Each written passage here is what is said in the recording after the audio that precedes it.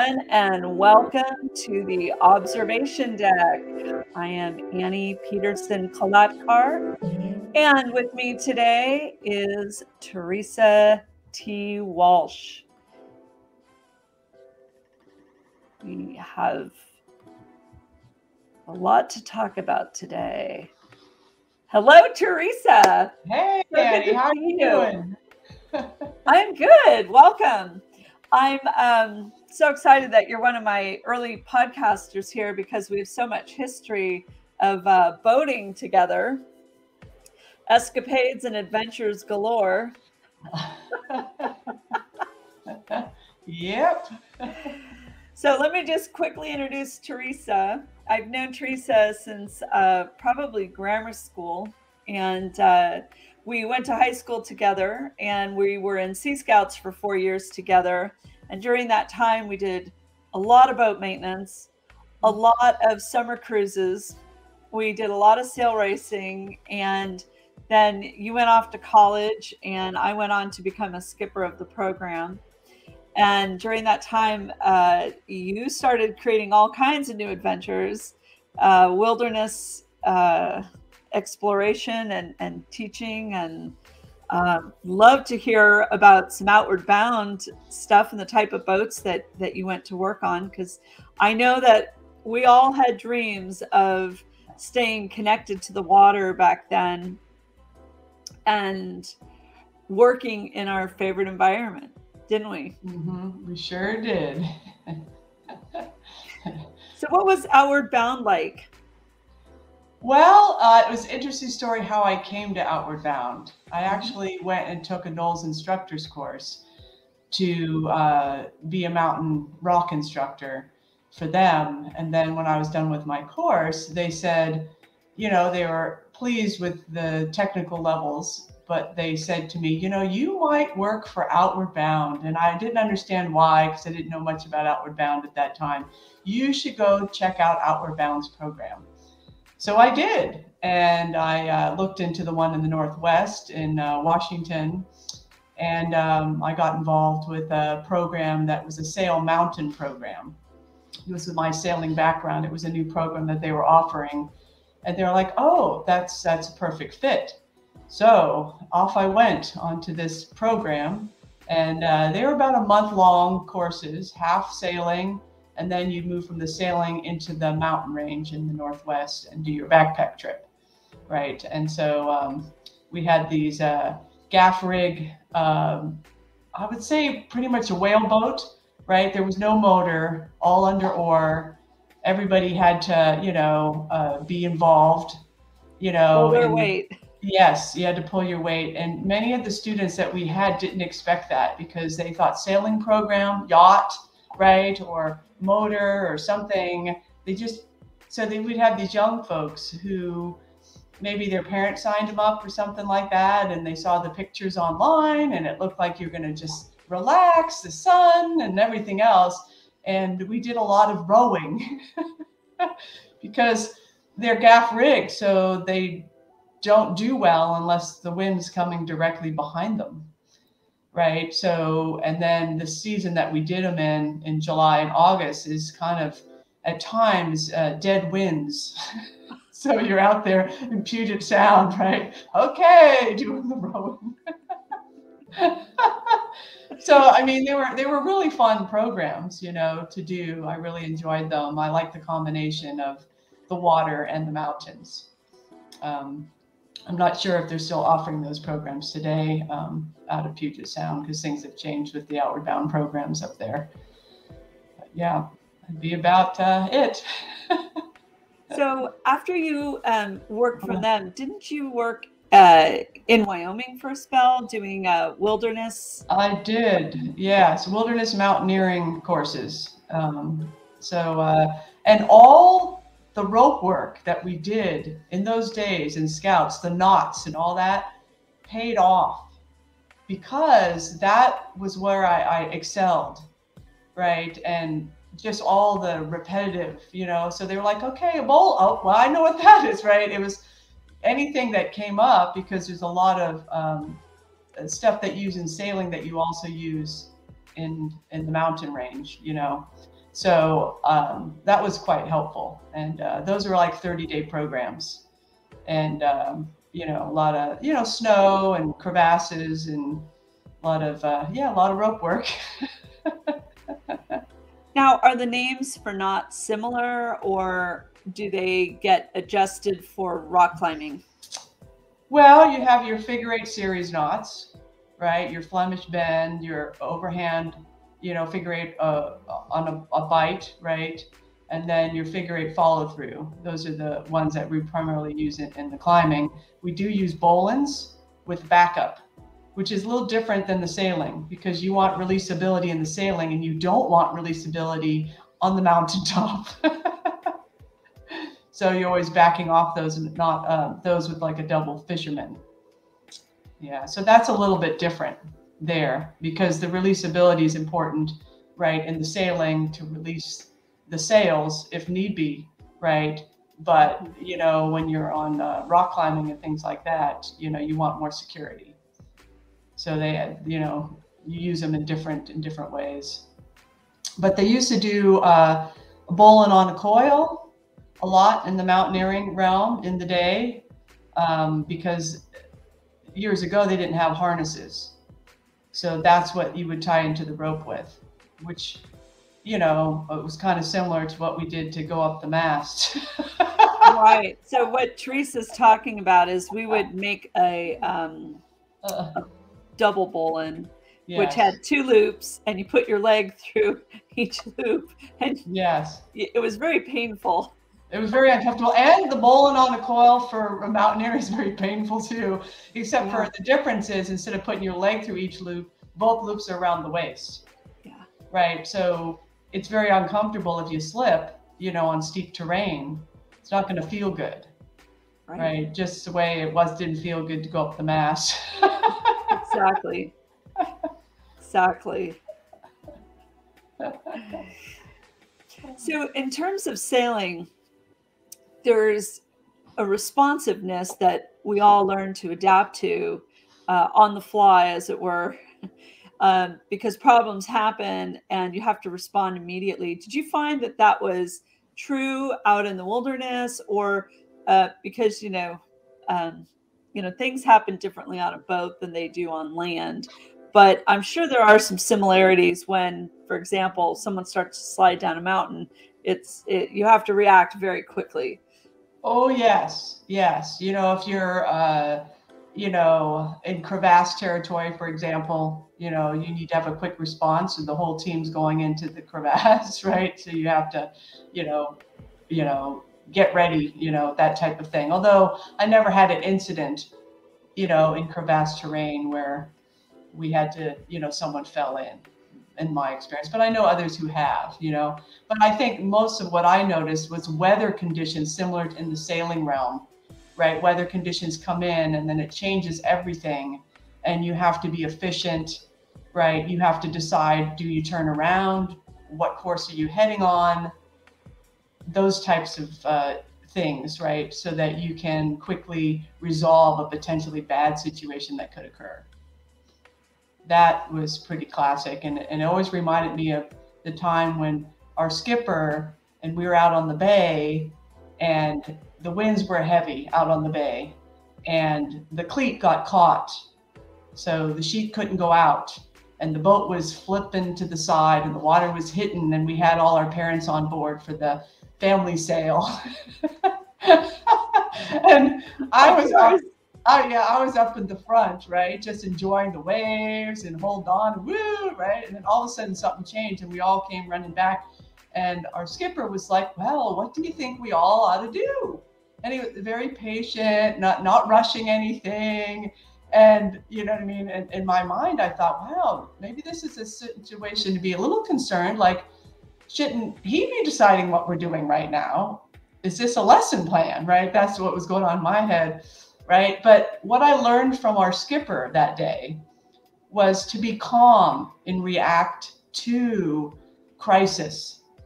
That was a beautiful moment for me because of his calmness.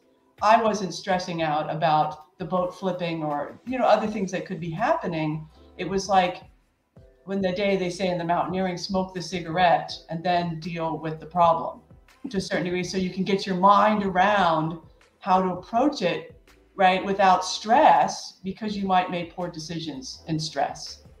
And that's what I learned from our skipper that day. And so there were plenty of times in the mountains that I had to go into that place and just go deep breath. Okay. Yeah. Breathe. All right. Here's the lightning.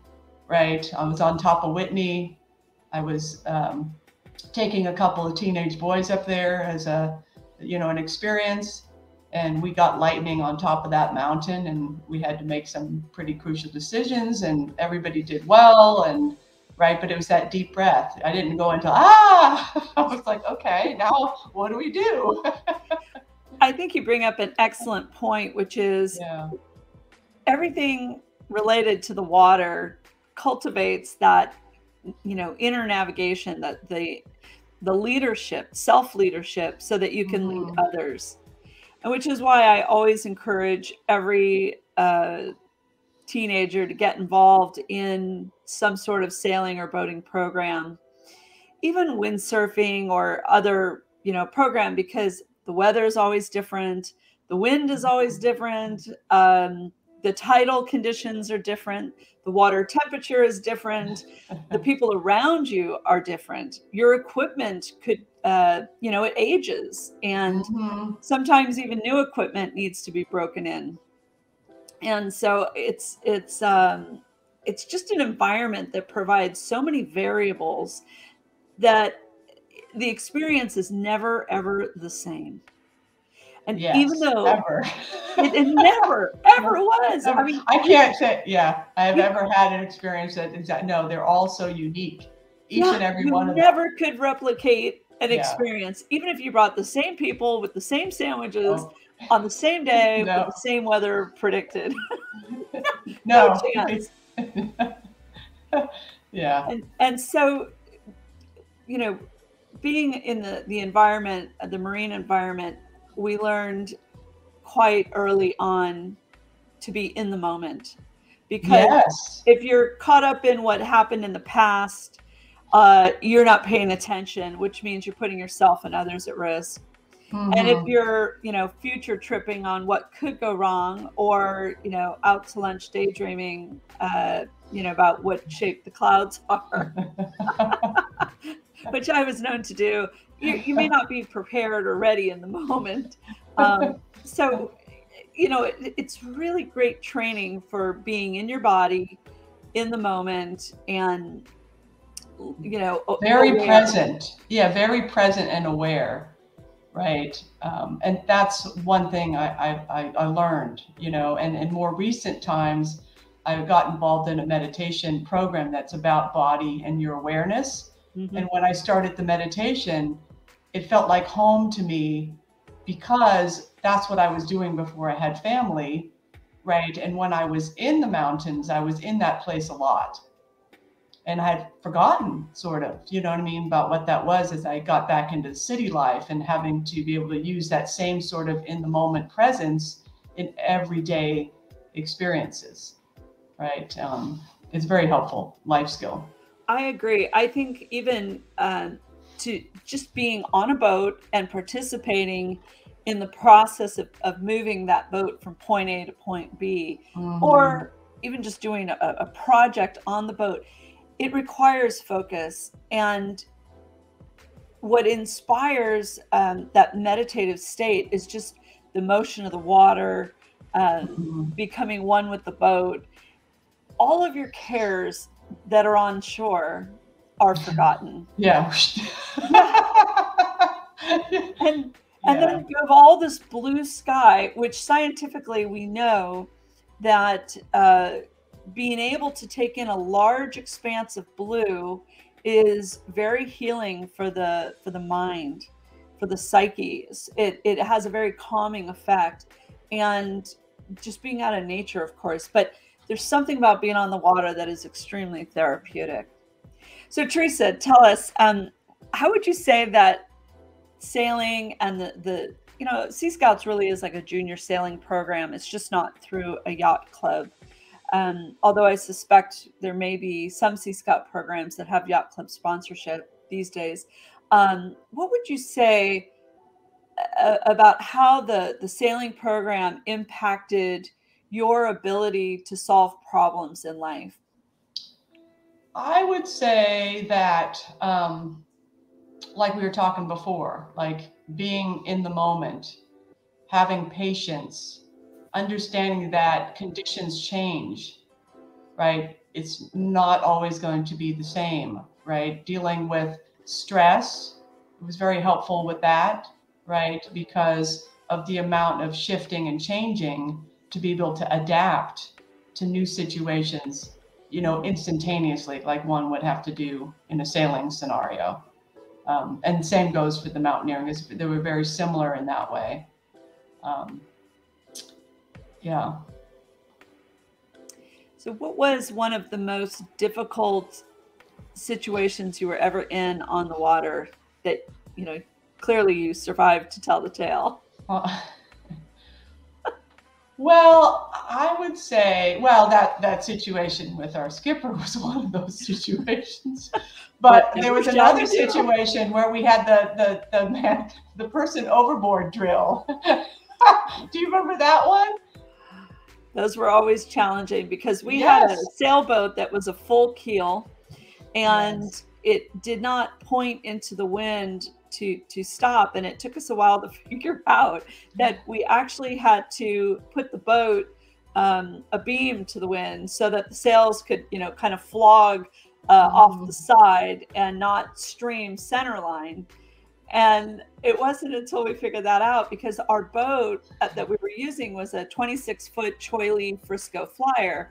And the problem is that it was designed in a way to self sail, right? With, with yes. tie off the tiller yeah. and it could hold a 45 degree uh, sailing point. Yeah. Um, so the boat naturally wanted to round up into the wind and then fall off to 45 degrees. So it was a very challenging boat to get to stay headed directly into the wind. So we yes. used to have to pick up people on the side. Yes. yes. And, and, it was complicated and difficult and you know it took longer than one would like, especially out, you know, with the bay and the current and things like that. Yeah.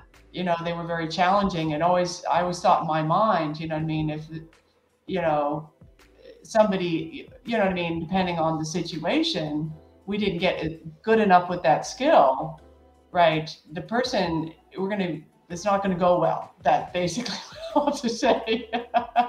exactly. Exactly.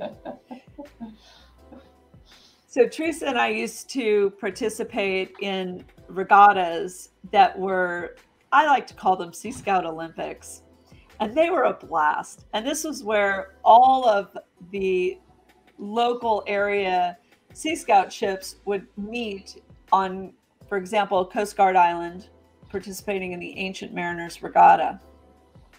And there would be all these different events, and we would have uh, just a tremendous time. It was a competition between all the different Sea Scout ships, and we would practice all year different skills from knot tying for timed events we would also do a ring buoy toss over the, a line in the water.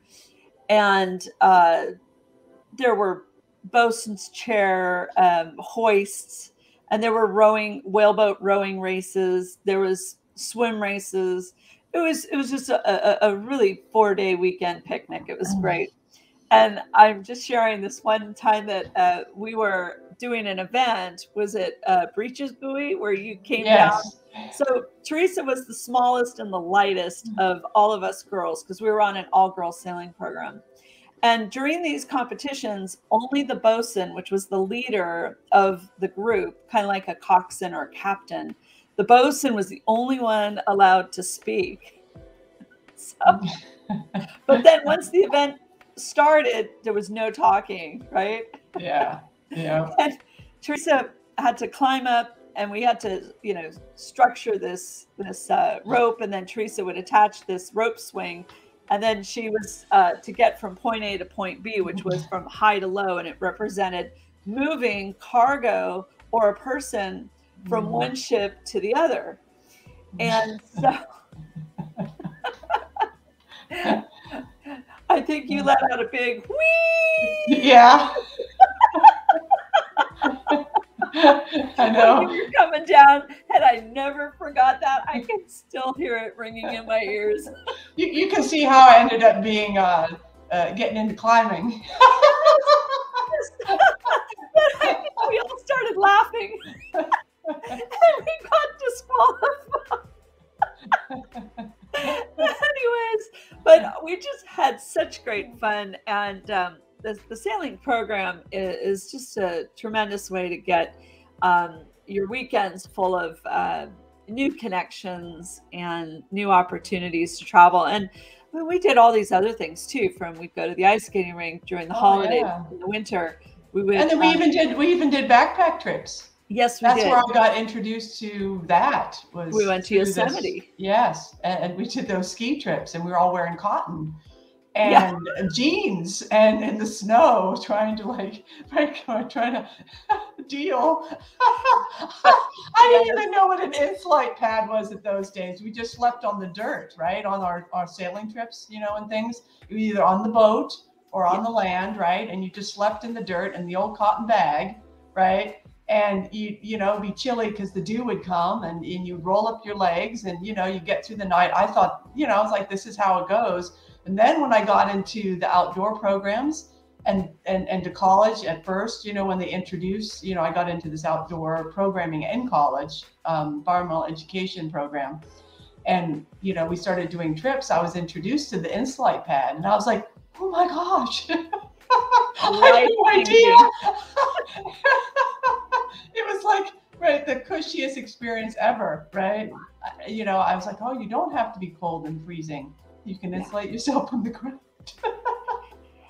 I think though that there's something that builds that inner fortitude of yeah i know how to rough it. I know how resilience and lay under a bunch of trees under a starry sky and lay on the dirt with my sleeping bag and and uh, rest and get through the night. And i mean we did all kinds of crazy things in high school uh, you know sleeping on whaleboats sleeping on decks waking up yeah. with all the condensation freezing cold.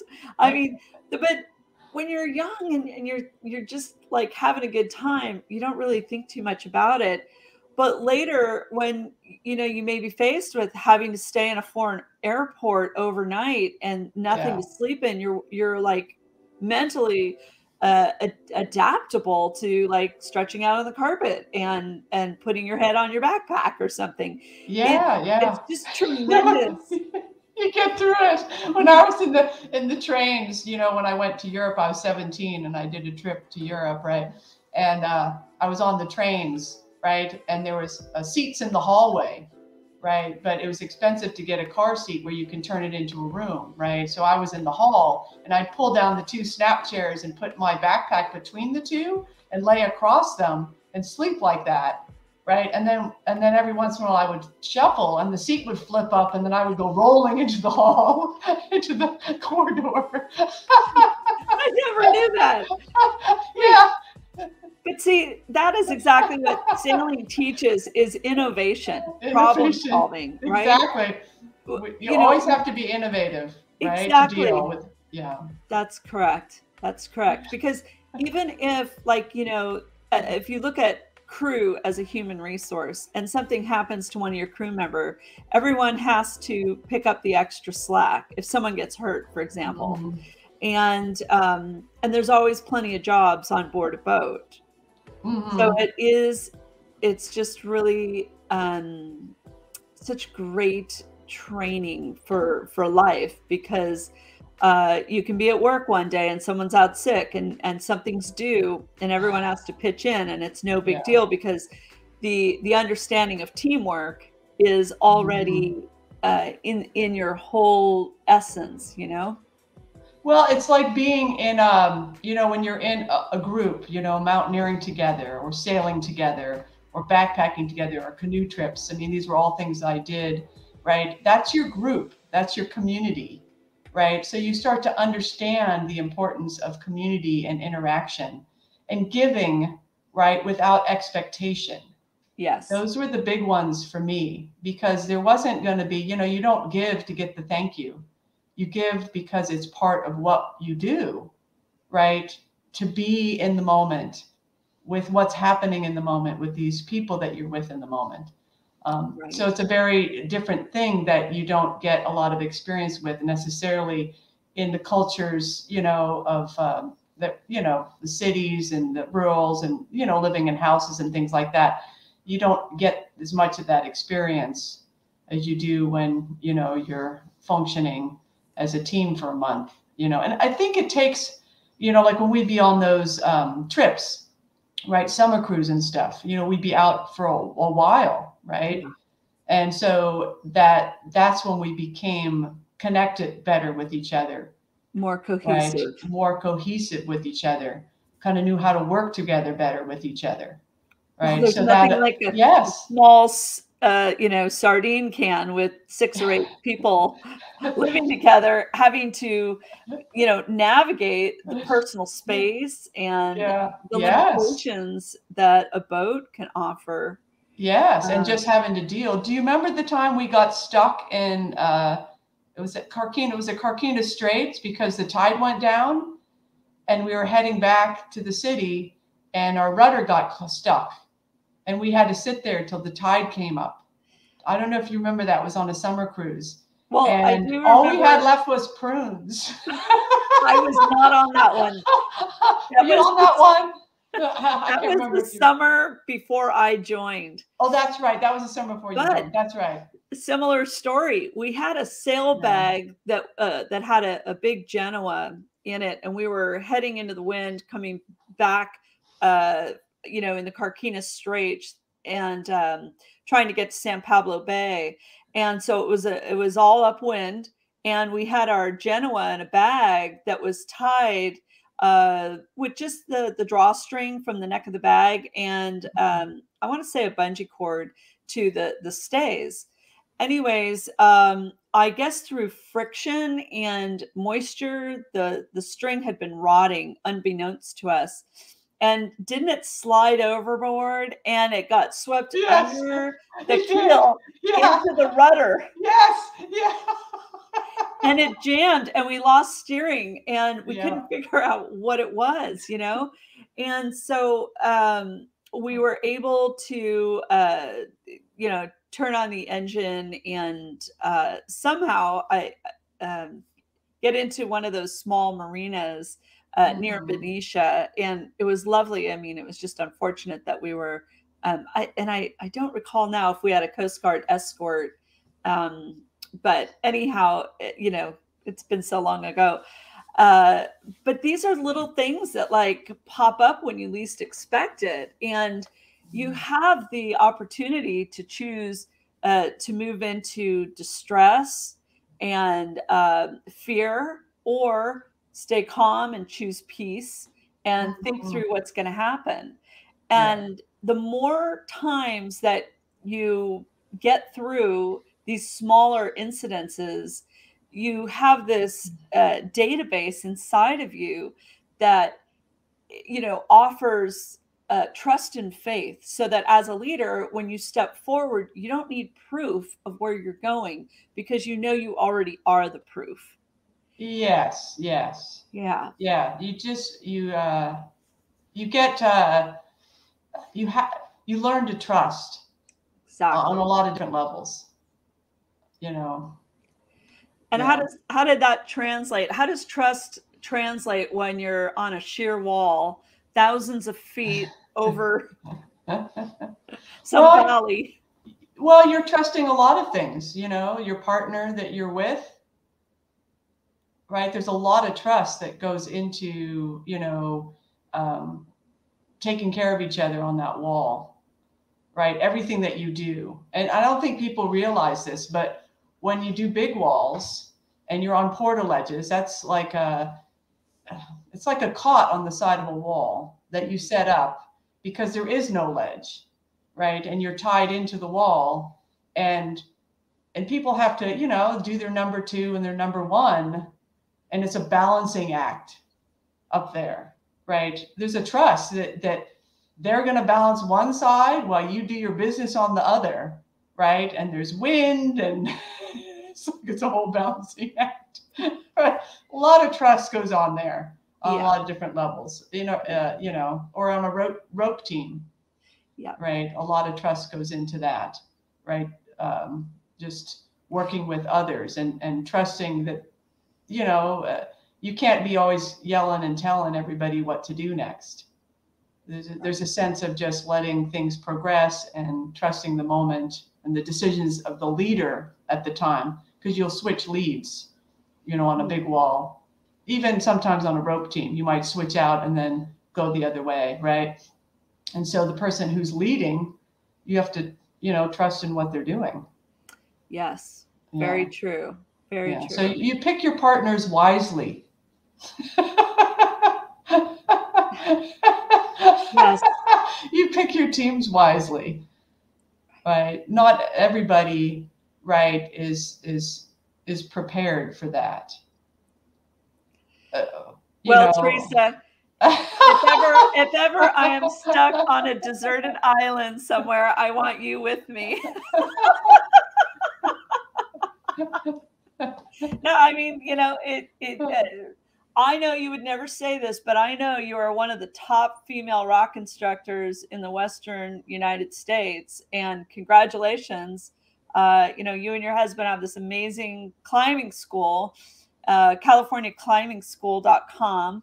Uh, for anyone that would like to check it out, they're headquartered in Joshua Tree, and uh, you know your your whole life has uh, been just a, an amazing uh, you know accumulation of experiences that um, you know have led you to this moment and I, i'm just so happy for you in all the ways that you've been teaching leadership to everyone who comes into your classes and, and does uh, programs with you and guide you up the mountain because you do take turns, don't you? Part of leadership training is having letting go of the, the, the ropes, right? Well, yeah, well, there's a certain amount of trust involved, right? In order to teach, you have to trust your student when the time is right for them yeah. to do their work. Yeah. Right. And so you step back in, you know, so you're leading from behind not from the front right and so it's a very delicate um, you know experience to because people can't learn unless somebody trusts them right? So when do you let go of the reins you know? Right. when is it you know you trust that they can do what they're going to do? Right. Right? So it's, it's quite interesting you know to teach and then step back right? Rather than blah blah blah all the time. There's a lot of stepping back and teaching in the outdoors as the people learn and get comfortable with the skills in their body and the group and these types of things. Yeah. Well, Theresa, thank you so much for being here today. It was truly a delight to spend this time with you. And I definitely want to have you come back and share some of those crazy stories. Uh, we, we didn't even get around to you chasing a bear up a mountain. I because I thought it was my group that I was supposed to meet to go meet to go climbing, and I was in the brush. and I was chasing him down to let him know, hey, this we're over here climbing, right? And uh, all of a sudden, I realized I was chasing a bear, and the bear was running for me because I was so loud. Hey, hey, hey! Amazing. Yes. So, folks, she has plenty of stories like this so once again, Theresa, thank you so much, and yeah. um, we'll see you again on the observation deck sometime. Okay. All right. Well, it was a joy talking with you today. Yeah. Awesome. Thank you for sharing your life stories. All right. Take care. You too.